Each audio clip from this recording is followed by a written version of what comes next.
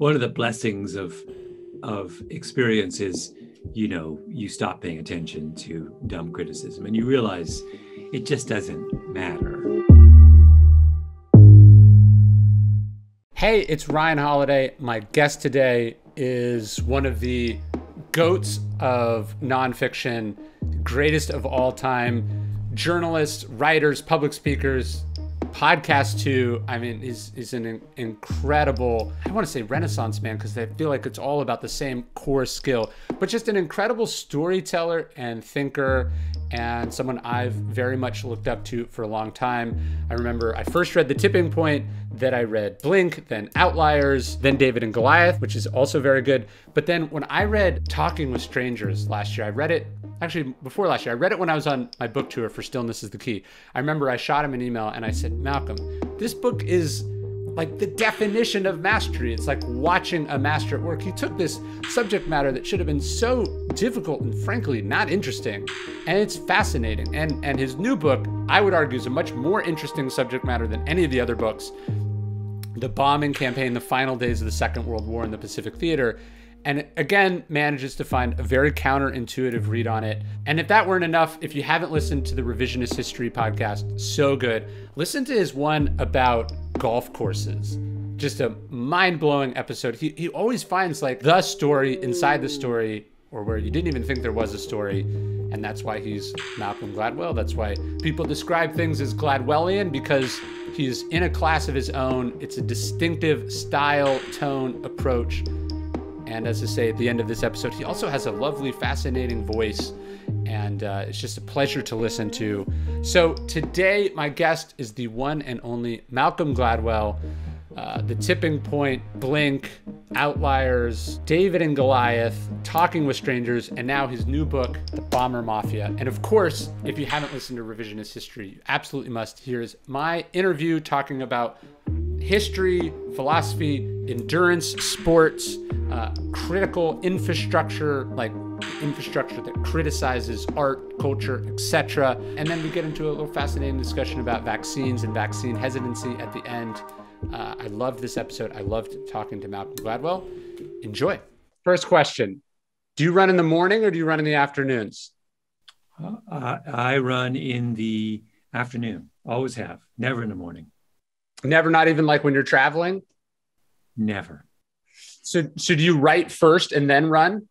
Yes, right. Morning is thinking time, and um, so it's uh, it's creative time, and seems crazy to put a run in the middle of the most cognitively valuable stretch of the day.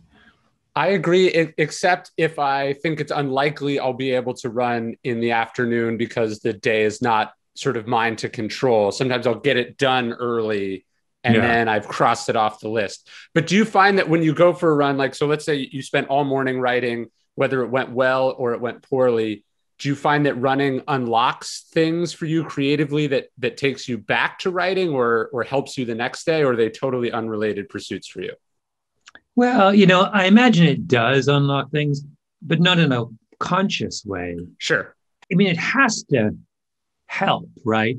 But um, I just don't know whether you can you can ever know how it's helping. Any kind of extended time, like I typically run by myself and I run without music or any accompaniment. Really? Yeah, I never. So it's you know I, I feel like it's just a it's like it's like medit- a form of meditation. It's just letting my mind wander.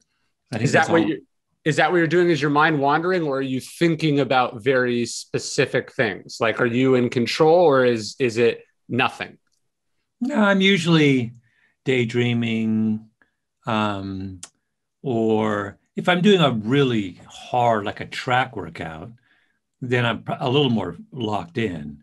But if i'm just going um, just for a kind of easy run i'm letting my mind wander or I'm just thinking about various random things. It's very similar to the kind of thinking I do before I go to sleep. It's that that's the analogy, I think.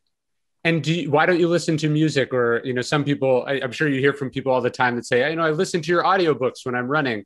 I, I, I am baffled by people's ability to consume this podcast episode or any sort of conversation while they're running. Yeah, I, I'm with you. I've never figured out the logistics of it. I don't like where would I put my? F- it's on my phone. Am I really going to carry my phone on a 10 mile run? That seems nuts. Um, but also, I don't even know. It's never you can do it on the Apple Watch. I think that's what a lot of people do. Oh yeah, yeah. yeah. I just never even occurs to me to to. I mean, it's just like there's so little time. Like when even when I'm driving, I only ever listen to something on the car in the car at the end of the day, never in the morning. And I, well, I think it's precious time you have with your own thoughts. Yeah, and I think uh, for a writer, that's when you're sharpest. It, you know, is sort of in the morning before the crap of the day has entered your world, and so to to willingly like mainline other people's thoughts or information strikes me as uh, a bad idea. Yeah, yeah, it's just disruptive. Um, Although I, I read that you write in coffee shops, probably not during COVID, but I, I can't be around. I don't want anyone in the space. I want kind of like a sacred, quiet space. So it's interesting. Oh, I love, yeah. I love the, I love the company and the noise. But remember, I began my career as a newspaper reporter in at the Washington Post in a big, loud, crowded newsroom and that's what i associate with right? You know i love that energy. I fell in love with that energy. And so i try i could i recreate it as best as i can in um in in coffee shops. So i like having and also i like variety. So i'll move around over the course of the day and write in four different places you know my desk being one of them but then i need that kind of to change it up a little bit well, it's like I imagine maybe it's a little bit like ambient noise, like someone who grew up in the city listening to sort of city noises on a white noise machine, or someone who grew up near the ocean needs to hear waves. Yeah, yeah, I think it's that that kind of. Um, uh, and I, I, I, I, I, I've never had. Thing is, when I'm actually writing, so little of my life is actually writing. Sure. This is what people don't understand about writers, which is that, you know, our writing takes up a tiny fraction of and I find that I'm very unconflicted about the writing part of my. Um, so I don't, you know, it's I never I really never get writer's block or it's very kind of um, it's just so uh, so pleasurable to construct something for me that um, you know it's, it's fine if there's things going on around me. I'm I'm locked in. I don't it doesn't sort of affect my process. So let's say for scheduling reasons or you're sick or weather or whatever, I, am curious for you, what's more painful? Like what leaves you more blocked up? Not being able to write, research, build stuff for a few days, or not being able to get out and physically exercise, like run or work out? Wh- which one, if you had to to sort of deprive yourself of one, which which would you choose?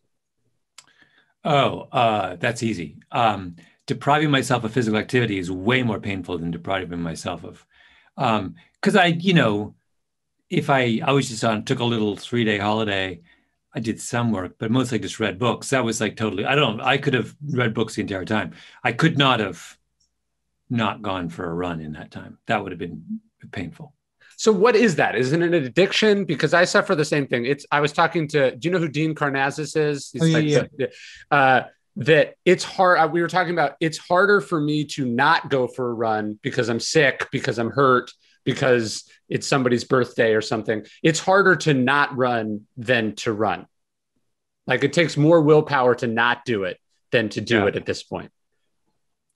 Yeah, although it's funny. Does it take I mean, I enjoy my day. So I I because I'm old, I I run you know, two days on, at most three days on, and then one day off. So I'm, I have plenty of off days, and I don't, they don't, they're not painful for me. I'm quite happy. I mean, tomorrow I'm not running. Um, I don't have a problem with that. That doesn't make me. Sure. You know, I'll just so it's not it's not that. It's just like, um, I don't know. It's hard to describe the place. I had a the son of a friend of mine came was passing through and stayed overnight at my house uh, yesterday, and I we went for a run in the afternoon. I never run with him before. Typically, like I because I way upstate. I run do my most of running by myself. It was a beautiful day, and we went on this kind of there's this new trail near where I live. This beautiful, you know, crushed stone trail that goes for miles. And you know, we started really easy, and then we just decided to pick it up on the way back. It was just like so great. I mean, it's just no other. Sure. You know, we went from started just over eight minute mile pace, ended up at six minute mile pace. And it was just like, I don't know, there's just nothing beats that. I don't, I just, I was just happy for the rest of the day. It was just so satisfying. Um, I think it connects to something very primal. It's like, you're sort of like, this is what uh, the body was meant to do. Yes. And for some reason, I'm aware as I've actually, I was going to say, it's always been this case. I've been, and maybe I have no idea what this is true of all runners. Maybe it is. I my running is incredibly variable. So I can have days where I'm on fire, and I have days where it it's a real slug. I, and I don't, I can't point to a rational reason why. In both those instances, I may have had a full night's sleep. I may be perfectly happy in my life. I may, but you know, sometimes it's a struggle and yesterday was one of those days where it was not a struggle. It was just I could have run forever. I mean, it was um, uh, when I was a kid. There was a period where uh, when I was 15 years old, which was the best. My I stopped running competitively at 15, um, but uh, right before I stopped, I was in. There was a stretch of about two weeks where I was in the greatest shape I'd ever been up to that point, and I've never been in that, that kind of shape again. And I had that feeling every day that I nothing I could just run forever as fast as I wanted. I've always remembered that. It was like the most magical period of my entire life. I think back on some of the workouts I was doing in that window. It's just incredible. Like it just I was just in a state of physical flow. Uh, what's, it goes away. What's weird is that writing and running are kind of on opposite trajectories. So running you kind of get worse at it as you get older to, to some degree, and that the body is rebelling and breaking down as you get older. But writing uh, is unique, I would imagine. I would I would argue uh, unique among the artistic or cultural pursuits in that you not only do you tend to get better at it the longer you do it, but also society and the market accepts the output of your work longer. So a musician, you know, you, you start, you hit your mid 30s, musicians start to be irrelevant culturally. The they're moving on to the younger person. But but a writer could hit their stride at 40 or 50 or 60. I was just reading about Janet Malcolm, uh, who, who died yesterday. It's like her first book was published at like 40 or 45 or something. Yeah. Um, yeah. It's, it's, they're kind of opposite pursuits. I like that writing, you know, you could be, you could be at your absolute peak at Robert Caro's age, and uh, it's a it's a very forgiving pursuit in that sense. Yeah, no, it's um, it that's the I didn't realize that when I started, and now I realize, oh my goodness, the best possible profession to age to age in. Um, although writing, running, I would quibble with your. I find running to be far more pleasurable now. Um, now the only the that I did when I was a kid. The only problem is you're i guess you're more likely to get injured when you're older although i was injured all the time when i was young so i'm not even sure that's true um, it's more I, forgiving I, than basketball i just mean uh, yeah. it, it's it's probably more pleasurable as you get older but it, it's not you, you, can do it as and and even some of the best runners in the world are competing at an elite level later than a lot of the other yeah. sports but yeah yeah um, so yeah i think it's I mean, I hope still to be shuffling around when I'm 80. I mean, assuming that my you know joints all hold up. Um, I think I, I, I think I should be able to do this for a long time. Do you feel that with writing as far as aging into the profession? I mean, I, I think I messaged you this when I read Talking with Strangers, and it just felt like this was watching a master at work. And not not that the other books weren't good; they were very, very good. But I would argue that the subject matter of talking with strangers and then also with the bomber mafia these are much uh, the other subject matter it was easier to make a great book out of you were you were dealing with harder material so for it to be at the malcolm gladwell level or to just be at the readability level that they were with the raw materials you were working on on these harder books, it struck me as as really watching the culmination of uh, a person who'd done this a very long time. Yeah, I do feel like I've gotten. I do feel that I do feel like there is some cumulative benefit of my experience now that I can see. I have a lot. I I have a lot of confidence now, um, particularly the podcast.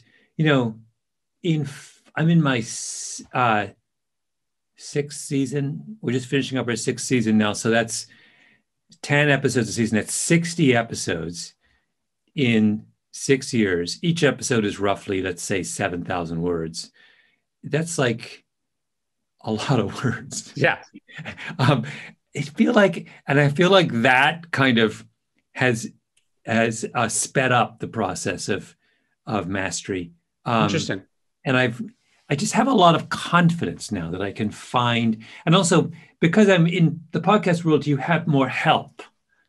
So I just, you know, the combination it's now much more of a team activity, and that, and in combination with my own kind of experience, it's it feels a lot different and it feels a lot easier. Sure. Um, and uh, I'm not, you know, I enter these seasons and I'll have I have to be done by the end of June. And in January, February, I'll have no ideas. Like I couldn't have handled that at 30. Um, I can sort of handle that now. I've raved about athletic greens before with all the things we've all got going on, trying to, to work, stay healthy, stay strong, work out. It's hard to get the right mix of nutrients in your diet, and Athletic Greens is a great product. I actually first heard of Athletic Greens almost 10 years ago from Chris, the Kiwi, the founder. He and I met through Tim Ferriss. He's a great dude. Athletic Greens has more than 75 vitamins, minerals, and other whole food sourced ingredients that make it easier for you to maintain nutrition without taking a whole lot of pills. You just mix a scoop of Athletic Greens into some water and you're good to go. They're offering my audience a free one year supply of vitamin D. Plus, you'll get five free travel packs with your first purchase. Simply visit athleticgreens.com slash stoic stoic. Join us in making this commitment to your health. Just go to athleticgreens.com slash stoic and get your free year supply of vitamin D plus five free travel packs today. Even though you're not interacting with the audience the same way, I think there's also something empowering and educational about working at scale. Like I think this podcast has done 50 million downloads. I, I, could write my whole life and not reach 50 million people. I mean, that's like an insane number. And so you you do learn something also by like putting stuff out hearing from the audience seeing what's working not working that like even a like a book that sells a million copies is like you know an album that sells 15 or 20 million copies right? It's so rare to reach that scale. And so books have always been this kind of i don't want to say a ghetto but it's a it's a smaller niche um, that you don't you don't get the sense of what's working for large amounts of people the same way I feel like you do in audio. Yeah, yeah. Yeah, I think that's true. Or at least they're very um they're so I I had thought when I started that what a podcast was was simply a book that you read. Mm-hmm. Like my kinds of podcast, narrative podcast. Yeah. But now I I realize it's a completely different animal that's experienced in a different way that um it's a different kind of storytelling. It's remembered differently. It's, you know, it's much, um, I don't know. I can't, I'm still kind of fumbling with my appreciation of, of how different it is. But it, the more I do revisionist history, the more I, I just think this is like a, this is a whole different animal than I was doing before. All that all that thing has in common is that I'm doing it, but that's it. Other than that, it's like, it's like, I mean, I, I feel like I'm, I'm a, a you know, a, a guitar player who, who took up the trombone at 50. It, it's a unique medium too, in that it's long form and yet not viral. So you're not worried about how it spreads in the same way that you are with an article. Even a book, you want sort of word of mouth. There yeah. is something special about like you have an audience, they subscribe, you push it out to them. So it really can kind of be whatever you want. There's a large audience, but you're not subject to the pressures of the internet or even like the the the the bestseller market. And and I think that's why such good content comes out of podcasts for the most part is that it kind of exists in one chunk as opposed even like talk radio is like sort of live and and if you're not holding the attention they turn off or switch to a different channel. It's kind of immune from these wicked incentives that i think have ruined some other mediums. Yeah. And also uh, it's this wonderful so there's no critical infrastructure for a podcast right? There's no sure. uh, there's not even a really a bestseller list. I mean there kind of is but not really. Right. there's no Nobody knows what it means, what what the ranks mean, how many downloads it is. Nobody knows. They're not podcast critics who publish regular things that everyone reads. There's no, and what we're getting is a kind of a little case study in what happens to creativity in the absence of criticism. And the results suggest, to my mind as well, at least, that um, the the um, the contribution of the critical infrastructure to writing, to publishing, may be greatly overstated. That the world would actually be, if there were no movie reviewers, maybe movies would be better. If there were no book reviewers, maybe would, people would take more chances. I'm not what the kind of creative flowering you see in the, in this new medium, um, in the absence of some kind of institutional reviewing function suggests to me that maybe these reviewers were screwing things up. They weren't helping. I mean, I would totally argue that they are. Even to go back to publishing, this is always something I've I've uh, noticed about your books. Um, your books appear on the New York Times nonfiction list, whereas almost all of the rest of us operating in very similar spaces get jammed in the advice how to nonfiction ghetto where we're competing with the uh, Guinness Book of World Records and uh, you know the the no belly fat diet books and and all this other stuff. And like, what is that distinction? Who decided that you know what Malcolm Gladwell writes is is highbrow enough to be uh, nonfiction, and then basically anyone else writing nonfiction that that has you know even a sliver of advice in it, you know, gets put in the in the miscellaneous bucket and yet that determines so many other things. And and it's just like some random person probably made this decision all these years ago. And the uh, the the downstream consequences of that is it sort of has to do with rankings and all this other stuff. It's it is interesting. Even even the bestseller list I, I always find it funny. Like if you look at the fine print of the the new york times bestseller list it excludes like books that are assigned in school. It, assi- it, it excludes like um uh, perennial sellers. It, it excludes things that should be on the list every, every week or every month. And so people end up inevitably trying to gain incentives, right? Uh, and I think your point about there not really being anything to gain with podcasts means all that energy gets focused on just making stuff that people want to make. Yeah, yeah, I, I yeah, I agree. I mean, this kind of like um, the the the infra- the existing publishing infrastructure is super creaky. It's just like it hasn't people even something as dumb as I mean we're sort of getting in the weeds here, but the New York Times list is a list of print books, and then they also have a list of ebooks. They don't fold in your audiobooks, right? But audiobooks out in many in my in my case, I sell more audiobooks than print books. It's like thirty or forty percent of sales of of most yeah. books. In my case, it's sixty percent of sales. So like I don't understand like why does the New York Times think that they should count my print book but not my audiobook? I mean I just don't I mean it's just it's just like dumb. Or or uh, why is Amazon weighted disp- uh, underweighted but independent bookstores are overweighted? Meanwhile, I think you know independent book sales and I have an independent bookstore is like 1 or 2% of my total sales. So so yeah, somebody decided that because they love indie bookstores, that's going to be disproportionately weighted on the you list. Have an, you have an you have an indie bookstore? Yeah, I have a small bookstore uh, in this small town here in Texas. Really? Yeah. So I was uh, I'm talking to you from my office, which is above the bookstore. I needed like an office space to write. And so I, I, I bought this small building and beneath it is a storefront and I opened a bookstore. What town in Texas do you live in? Uh, Bastrop, Texas, which is right outside Austin. Oh yeah. Oh yeah, I know Bastrop. Oh, wow. I go to Austin all the time. I should come and uh, you should. I should come and check out your bookstore. We we have all we have all your books. They're very popular. Yeah, yeah. Oh, that's funny. But That's- yeah, it's it, it's strange how you know again this sort of arbitrary criteria, which is I guess kind of the the um uh, the through line of a lot of your books. What is the underlying hidden logic of how a lot of systems or people or assumptions operate? And it's not usually what people think. There's usually something going on.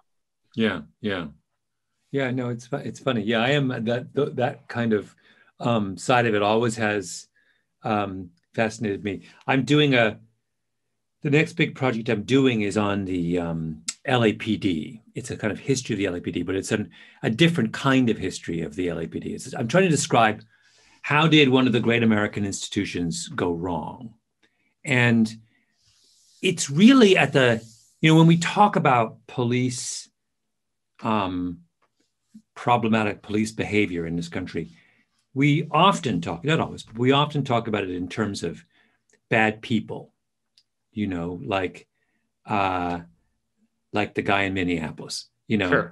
um, uh, you know, who's just a bad actor, and we think we need to get rid of the bad actors. But the focus of my book is not on bad people, but on bad systems. Sure. and how if you look very closely at the history of the LAPD, you realize that there's a kind of an original sin in the way the the institution was set up in the 30s, and the results, the consequences of that, um, warped the way the city was policed for two generations, and it took an heroic effort to change that. And it's like it's such a kind of like, and it, people almost no one talked about this for 60 years. I mean, just never came up. And they were always talking about, well, is there something wrong with the cops? Is there something wrong with the, are the people just who complain about the cops just complainers? Are they, you know, there was a million, maybe this problem doesn't exist. There was a million explanations given for what was, for, for the, to try and identify the dysfunction in Los Angeles. And the, the truth was like, there in plain sight but it just was in a form that no one no one wanted to think about.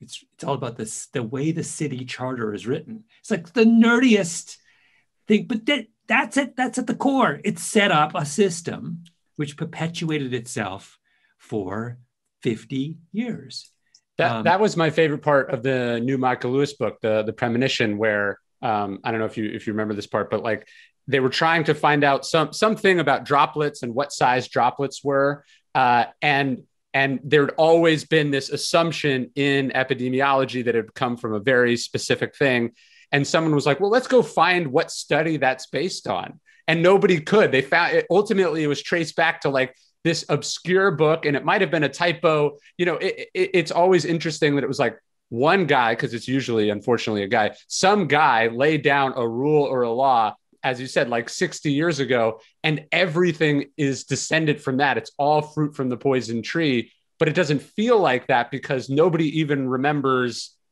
who that person was and that they would have had so much power at that time. yeah yeah yeah no that's fascinating yeah So uh, you mentioned upstate earlier. I meant to thank you. I I I believe your neighbor up there, Charles Randolph, is uh, you. He told me that you were the one that recommended that he do the screenplay about one of my books. Uh, I wrote a book about Peter Thiel and Gawker, oh yeah um, and he said it was you that recommended it.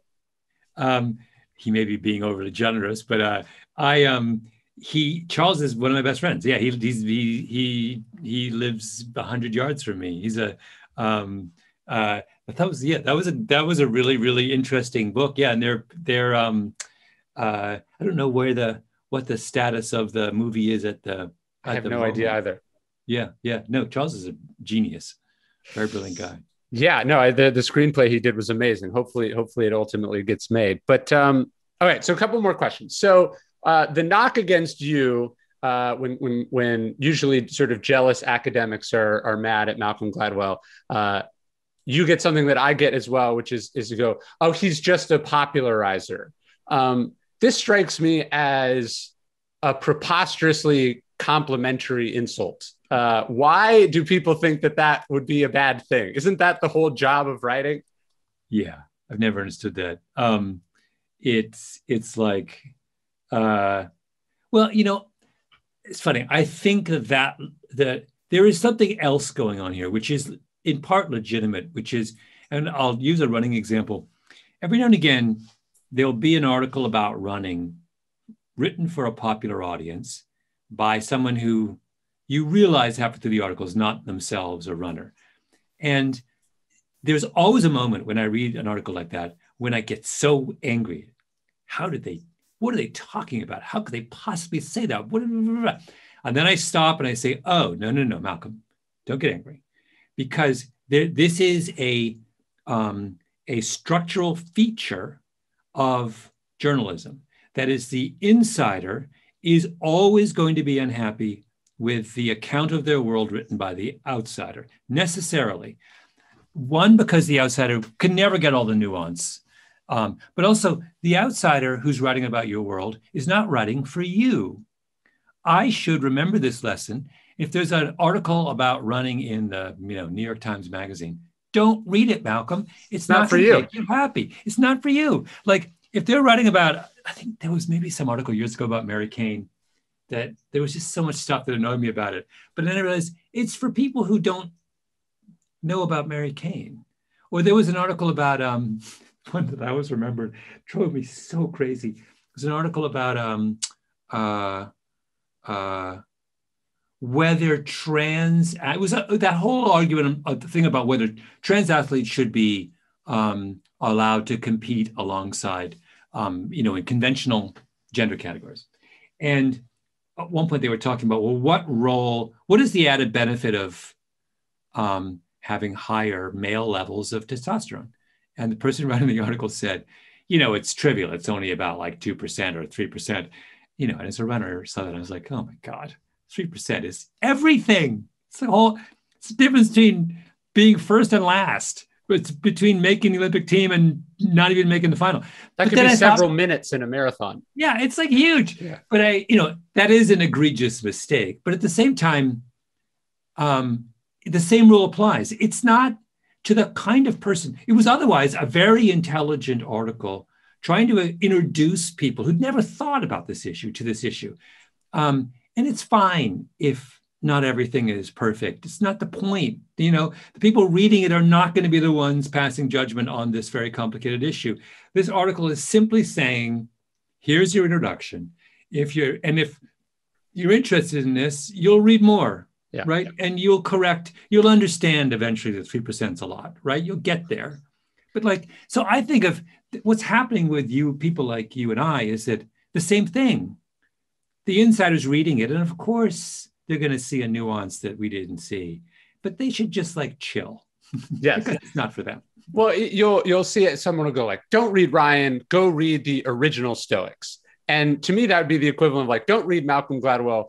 Go read hundreds of scientific journal articles." Nothing could make you or I happier than millions of people deciding to be as nerdy and dedicated and uh, and detailed about their what they read as that. Yeah. Also, realistically, that's never going to happen. If it, if if everyone loved journal articles, we wouldn't have books. We just all read journal articles. Like there, I think people struggle with the idea that not everyone has the time or energy or or frankly the ability to go as in depth as a topic. And they have to start somewhere just as you didn't start with journal entries. And and i you know everyone has to start with a general introduction to something. And why would uh, like i always get i always get mad too not mad I, people go like uh, you know uh, people in silicon valley are reading ryan holiday's uh, you know books about stoicism. And it's like of all the things they could be reading that you would be upset about it seems like an ancient philosophy would be like the least bad thing for them to be consuming. Like for of all the things that you could be popularizing it's not like you're popularizing qanon or or uh, or you know the law of attraction. You're you're popularizing science and and research. This is a good thing. Why why be upset about that yeah yeah. I mean i don't i kind of stop paying attention. One of the blessings of of of uh, of experience is you know you stop paying attention to dumb criticism and you realize it just doesn't matter. It's not like the but the rule i always have is if you if you if you imagine um, as a, a hypothetical scenario that let's stipulate that 90% of the people who read your books love your books and 10% hate them that's a very very generous i'm going to give you that sure right? yeah so if you sell 10 books then you have one critic and nine people who love your books. No one's even going to notice that one critic, right? Right. If you sell a million books, you're going to have a hundred thousand critics, right? All we're going to be inundated with the critics of Ryan Holiday. But you sold a million books, and you yeah. have nine hundred thousand people who love them. Now, which of those two, which which which of those two scenarios do you want, right? Do you want to sell one, do you want to have one critic or 100,000 critics? I want to have 100,000 critics. Right. The, the other feature of that is that the haters always hate more than the people who are fans. Of the 90% who like you, most of them were like, "Oh, it was okay," or you know, I read that. Uh, I you know, Outliers. That's the one with the ten thousand hours. That's what I took away from the book, right? Yeah. But the hater is the one who's obsessed that on page sixty-two, you made an you, you know you made an assumption that they don't agree with, and therefore, you know, you are the devil and they were going to spend all their time on the internet letting everyone know i tried a couple years ago i realized this i realized that i was like everyone far more free with my criticism than my praise mm-hmm. and i decided to make a concerted effort to be to equalize that so to and so i started you know janet you just mentioned janet malcolm died yesterday janet malcolm was she was the most important influence of my own writing. I read really? every one of her books, some of them more than once. I was obsessed with Janet Malcolm. And I realized, oh, you know, I need to start telling the world this. So starting about five years ago, maybe even longer, whenever I was had an opportunity, I would say, and my five favorite writer is Janet Malcolm. And then finally, last year, I got a little note, a little handwritten note from Janet Malcolm saying, I heard you say on some some friend of mine alerted me to some you know interview you gave where you said you I was your favorite writer. I'm so touched. Blah blah blah. And I was like, you know, that I wish I'd started doing that 30 years ago. Yes. I, that you know she has been trapped in a world. She was in her 70s or 80s by that point. She'd been in this world where her haters were much louder than her than her supporters and the only way that's ever going to reverse is if people like me who like her work speak up, right? And and better that you speak out while she's alive and she could actually hear about it. Yeah, it was the sweetest little note. I was like, I met, I, I think I brightened her day. Like it was like, I was so, I was so um, uh, thrilled to get that little note from her. No, that's a great rule. Okay, back to the insider thing, and then I want to talk about about the new book. Um, I think one of the things you you kind of just described there, and I might be pronouncing it wrong, but uh, what is it? The gel amnesia effect or the gel amnesia effect? Do you, do you know about this? No. I, I actually heard about it from Michael Lewis, but it's basically that whenever you read an article about something that you are in fact an art an expert about, you immediately see that the journalist or journalists in general have no idea what they're talking about and that you can't trust it. And so you read this about running or or or, or you know something in the market because you run a hedge fund or whatever it is that you're an expert about, you read it and you're just disgusted with how inaccurate it is. And then you turn to the next page or you click the next article and they tell you about an upcoming ruling of the Supreme Court and what it means, or what's going on in the Middle East, or the latest news about this scientific breakthrough, and you absorb it and trust it completely as if it is not uh, just as inaccurate to the insiders, but you are unaware of your own ignorance. Yeah. Oh, that's fascinating. Yeah, that's so true. That's exactly what I'm talking about because, you know, I will eagerly, cons- you know, I'll be throwing my hands up over the Mary Cain article and then I'll, you know, eagerly read every other article in, in the magazine. Yes. Yes, it's true. Yeah. Um, well, I, so I, I thought the new book was fascinating. Uh, again, it, it seems like maybe you're trying to challenge yourself to, to write about something that you must have known the vast majority of people were going to be upset about you for daring to talk about and for not sort of taking, I don't want to call it the party line, but but the sort of let's call it the the sort of liberal consensus about you know uh, this part of the Second World War. Were you trying to challenge yourself, or were you just you just compelled to tell this story? I mean, I was. I didn't think it's funny. I, from my perspective, I have never gotten such positive reviews on a book in my life. I'm used to getting. I have on many of my books run the table and got not a single major positive review. So that's my baseline. So this one, you know, I had I've just been flabbergasted by how positive the response has been. Um, I wasn't trying to do anything controversial at all. I was, but I was trying to stretch myself in this in the kind of story that I was telling. I wanted to tell a single narrative um, which I've never done before at book length. I always have a book that has multiple narratives. Um, and I was like, you know what? Can I? Why can't I tell a story from beginning to end? Because I've always been in awe of someone like Michael Lewis who does that, and I don't understand how he could do it. Um, so that was the first thing, and I wanted to write a book that didn't that withheld a conclusion. I wanted people to make up their own mind about um, what we should have done at the end of the Second World War, or whether what Curtis LeMay did over Japan in the summer of 45 is a good or a bad thing. Because I'm not sure I know how to what to make of it. Um, and so I just thought I would lay out the two sides and let people um, interpret it as they may. Um, and I, I, I think that in by and large, that's what people have done, is they've just accepted the fact that war presents you with a series of impossible choices. And they're no less impossible with the passage of time. I mean, it's not any easier to make sense of what was doing, what they were doing in 45 today than it was in 45. Um, so that's that was what I was trying to get at. Is you know I feel like this is the thing, thing I've actually begun to feel quite strongly about in many. Um, the this idea of degree of difficulty is the thing we have the hardest time with. And, you know, the I've seen this, you know, and all I've done a ton of writing about police and law enforcement in my life. And the thing I always come back to is most people who are not in law enforcement underestimate how difficult that job is. Similarly, uh, you know, I think the same is true of teaching. I think most non teachers underestimate how difficult it is to be a good teacher. It's really hard.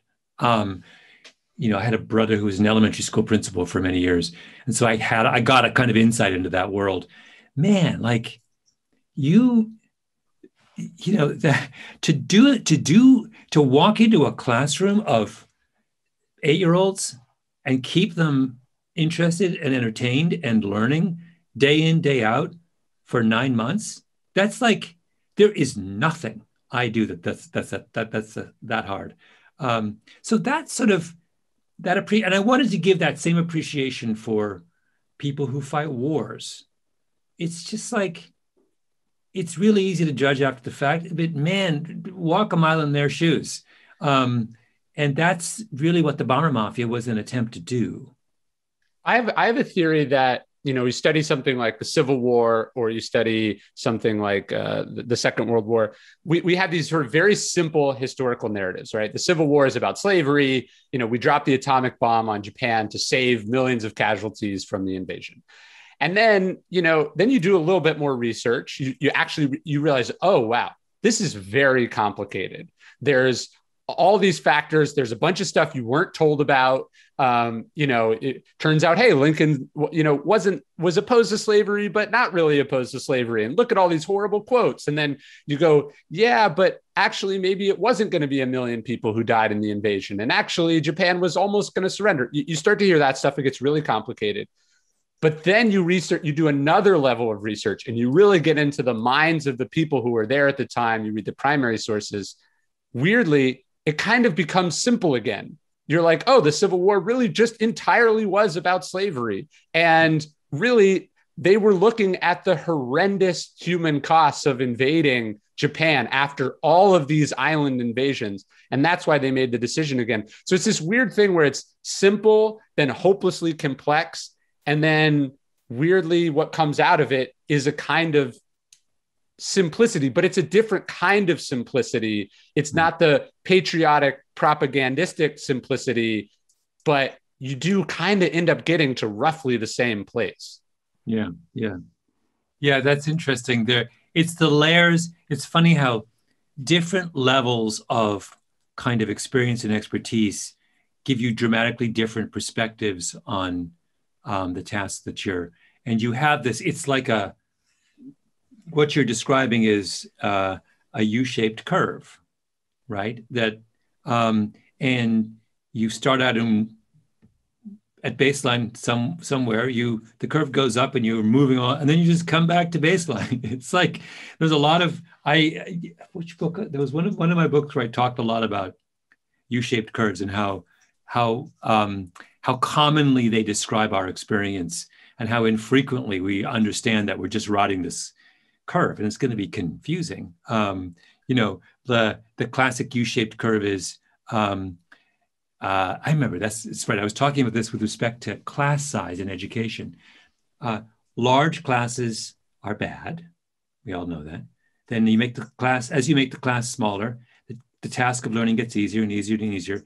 But then when the class gets too small, learning gets harder again. And people don't understand this. They think they think it's just a straight line.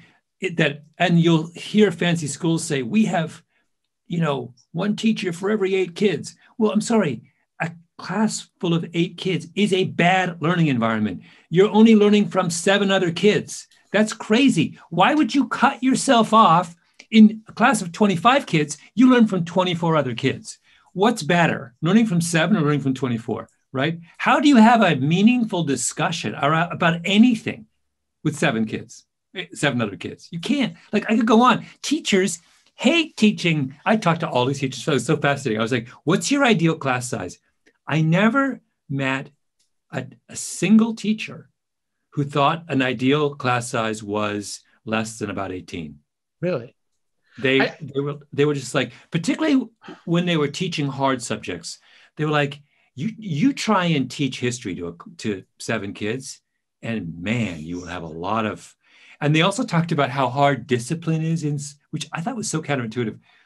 Discipline's really hard with 35 kids, but it's also really hard with seven, right? Because sure. one kid, one kid can just dominate, and you cannot get away from that one kid.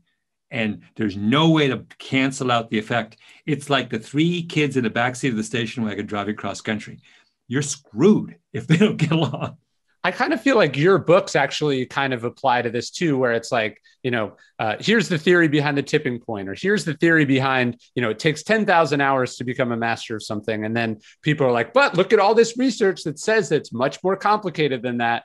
And then you keep researching, and then maybe you try it yourself and you're like, sure, but it does take thousands of hours to be good at something. Like it, it, it it's, it's, you get back to the same place. And I think people often hear this that sort of conclusion and they assume that you have disregarded all this information. And it's like no that was integrated into the conclusion. And of course there's edge cases and exceptions that prove the rule but generally this is a pretty good hypothesis or theory for going through the world. And yeah. by saying no no no no no it's more complicated you're not actually proposing anything different or arguing against it. You're just pointing out what what actually exists. Like my i have this book ego is the enemy and and people go but but sometimes ego is a good thing. And you're like you think i didn't think about that once writing you know a, a 300 page book about this topic? Of course.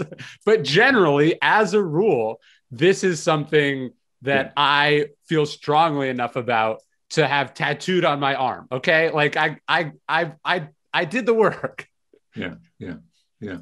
That's fascinating yeah I feel like with the the bombing of Japan, this is probably very politically incorrect, but I've the more I've read about World War II, the more I've read about like MacArthur, for instance, and just how brutal a lot of these campaigns were.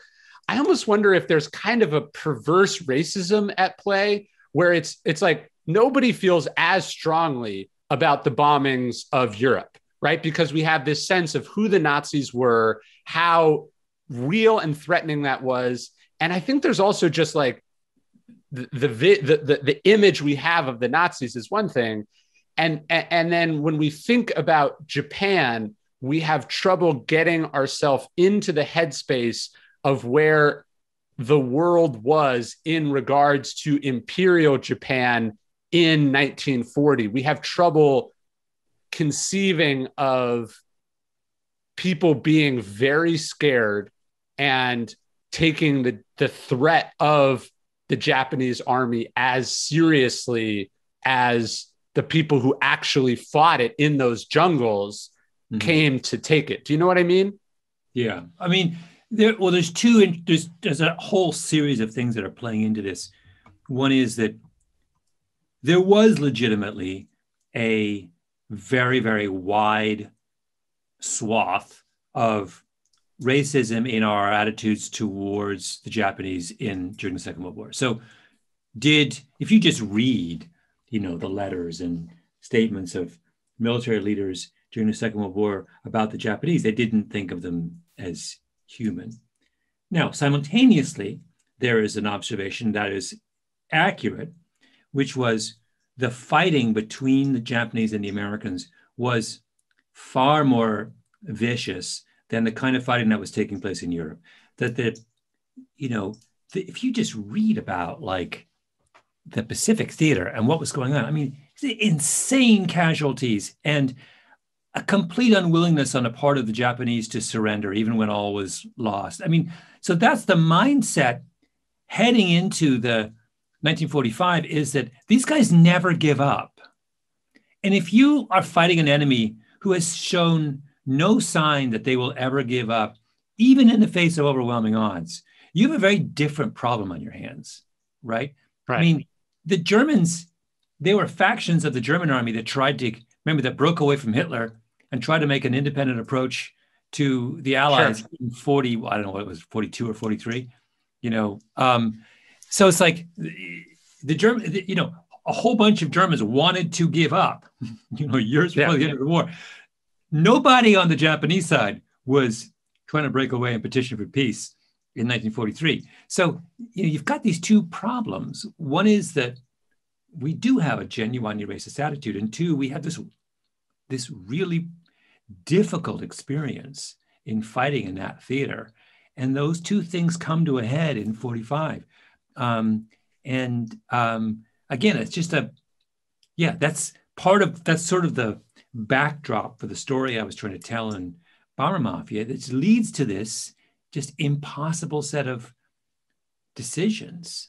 Well, no, and, and what I'm saying is there's almost a soft bigotry today where we have the inability to conceive of Japan as a dire uh, existential threat that people legitimately felt yeah. it necessary to drop an atomic bomb. It, it seems like we see ourselves as America now, Japan today, and we go, how could Truman have been so so cruel? How could he have been so awful?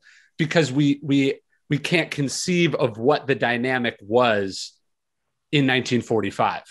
Yeah, yeah, yeah. I think that's that I think that's true. I mean, this is why this is why we read history. You know, mm-hmm. you um, it's just in, insanely valuable to get a kind of course in um, how differently people thought about whatever the subject of the history is um, in the period you're under. Like you can't, you cannot extrapolate back from 2021 to 1945. You yeah. just can't, right? There's, I feel like there's also an analogy to the US Civil War where sort of the, the breakthrough of the US Civil War is Sherman realizing that the backbone of the Southern Army is the Southern people, that, that there is this war machine that's being sustained by an entire culture that is in line with the aims of its army.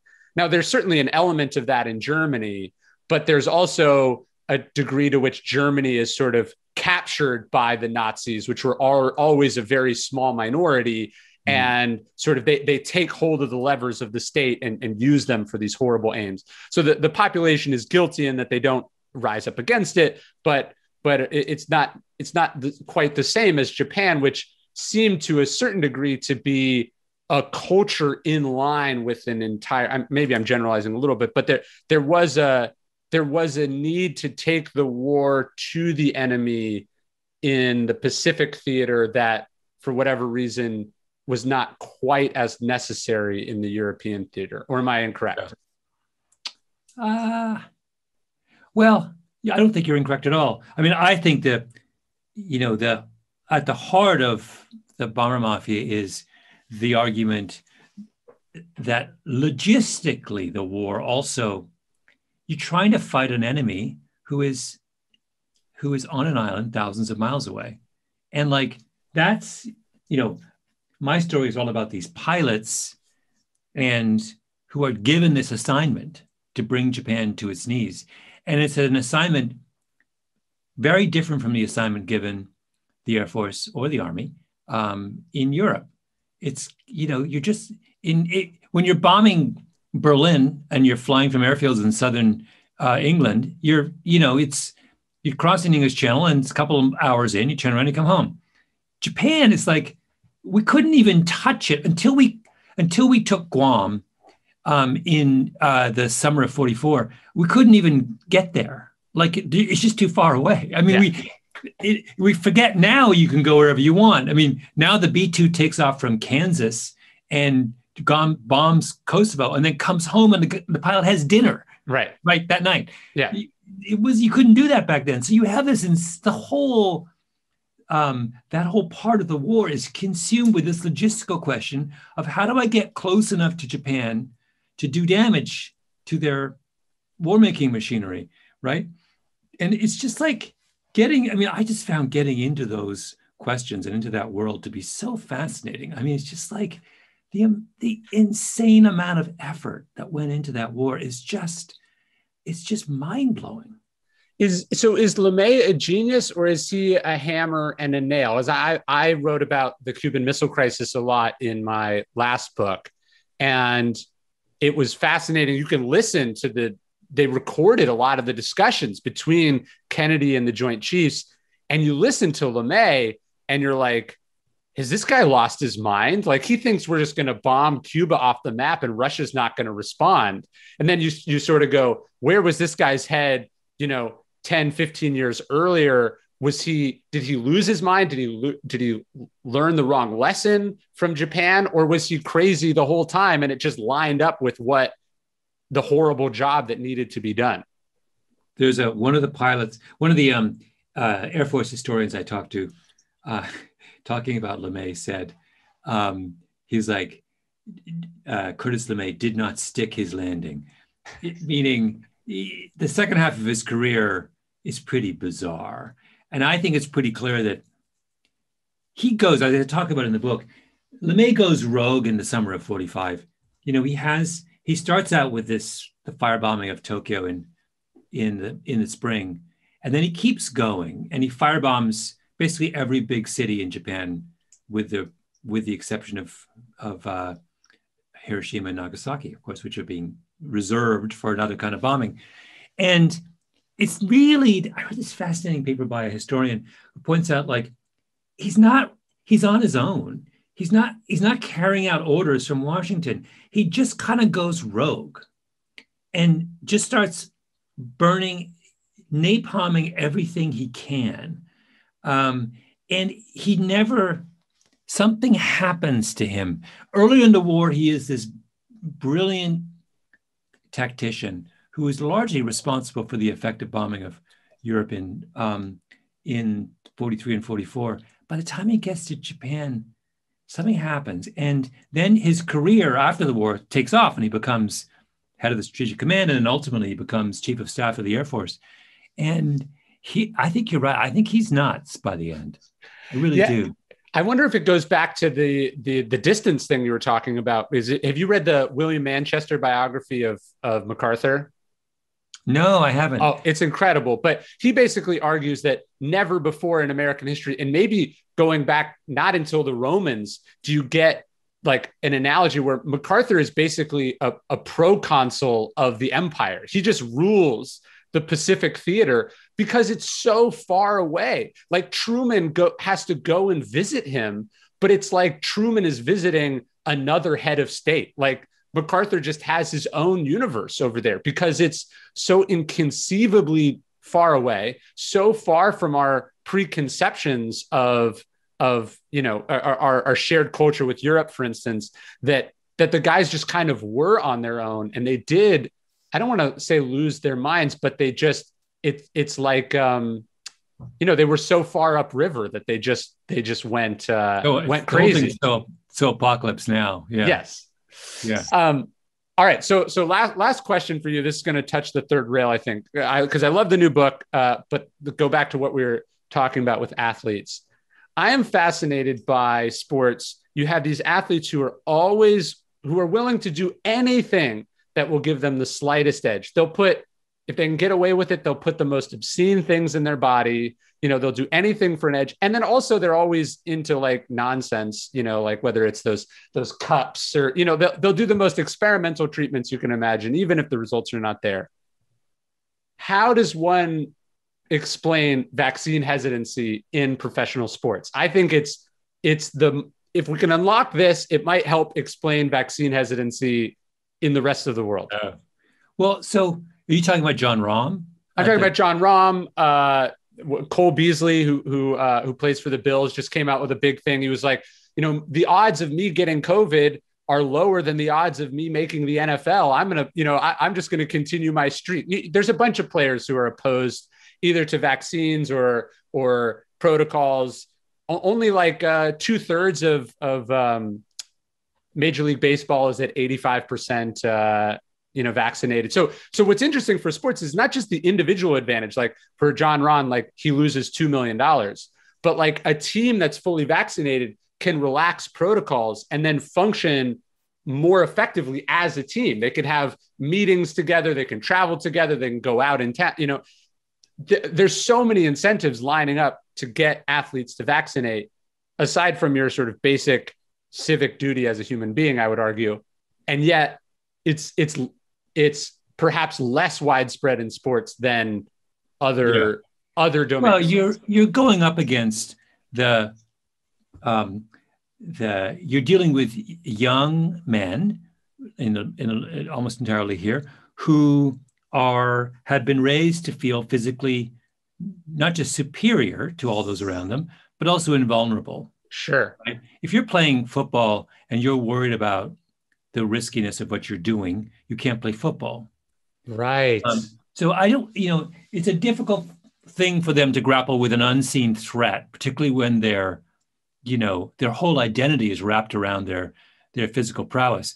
Jon Rahm is a harder one for me to understand because it's like you knew the rules. Like, yeah, dude. I mean, he even could have run out and gotten vaccinated after he was up by three shots after the first day. Like, you know, it doesn't really make a lot of, I agree with you. It makes no sense whatsoever, but um, there is this kind of macho thing too, that like, you know, F it, man, I can deal with this. Um, I'm, you know, I'm a tough guy. I'll be fine. And by the way, you know, they probably uh, will be fine. Probably will be fine. Only people I worry about football. I mean, I do think that linemen in football are precisely the kind of people who are very vulnerable to. Sure, sure. Um, if I'm a big right tackle and I'm not vaccinated, man, am I taking a risk? And then I, and also what also adding to your point, um, the you look at the NBA players who had COVID, like Jayson Tatum was on the sideline taking oxygen, like it seemed like months after he had COVID. I mean, you have to look around you. You see, like Jayson Tatum is as you know spectacular and and um, an athlete as exists in the world. I mean, if you talk about an invulnerable, perfect physical specimen, that's Jayson Tatum, and that guy was laid low by COVID.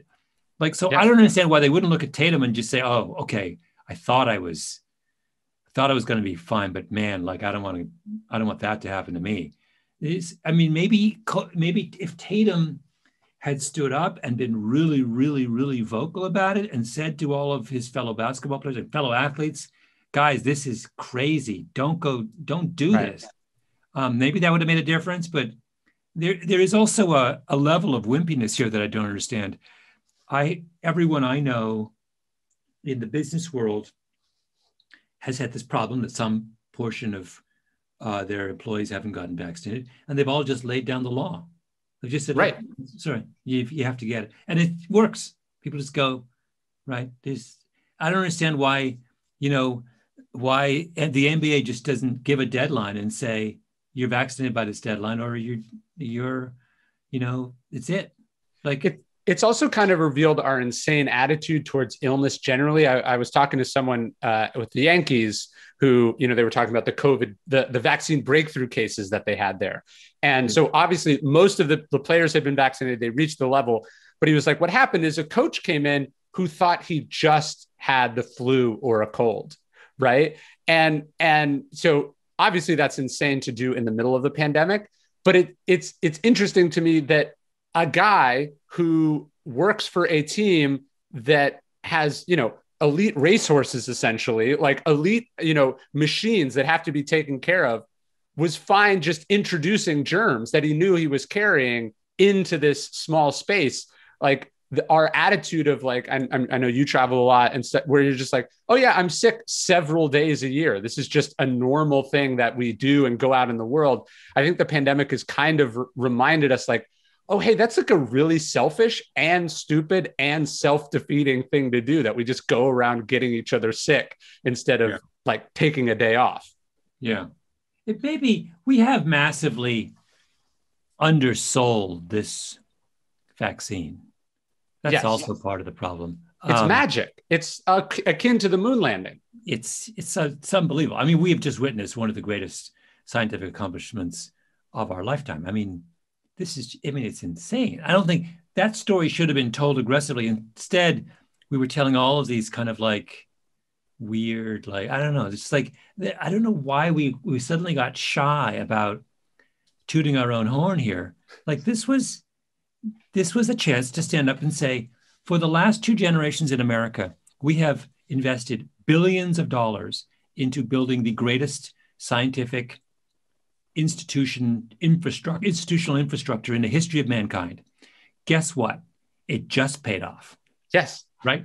And it was with these guys in the main. I mean, there were some obviously some of these people are are not from America, but you know, there's a in all of these mRNA stuff, it, you know, NIH and American schools are all complicit.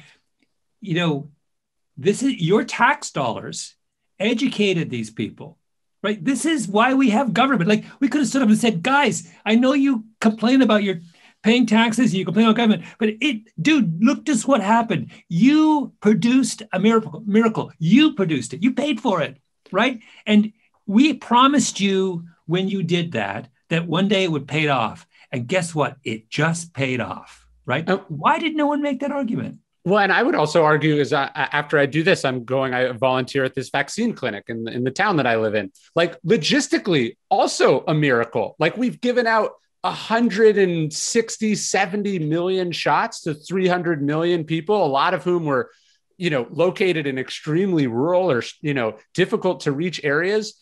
And it wasn't the federal government that did it necessarily. It was this massive distributed you know uh, interconnected network of giving a you know they're they're injecting a shot that has to be kept at an insane temperature and done just the right way. And that how few side effects there have been and how rarely it's gone wrong. Like also logistically like we did an incredibly hard thing to, together.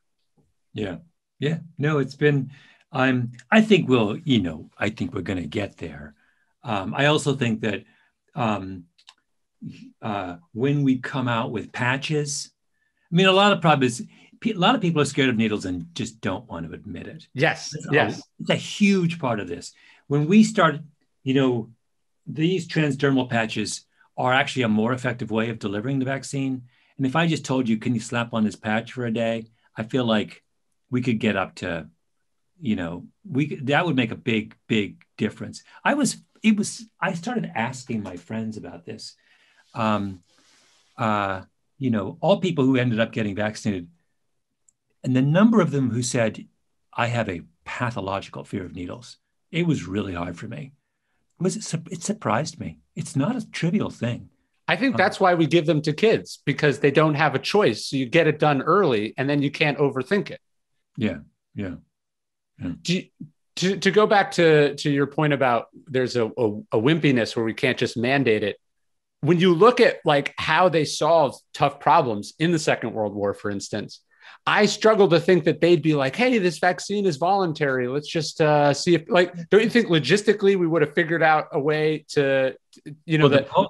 think about how we we um, we did mass polio vaccinations in the '60s. They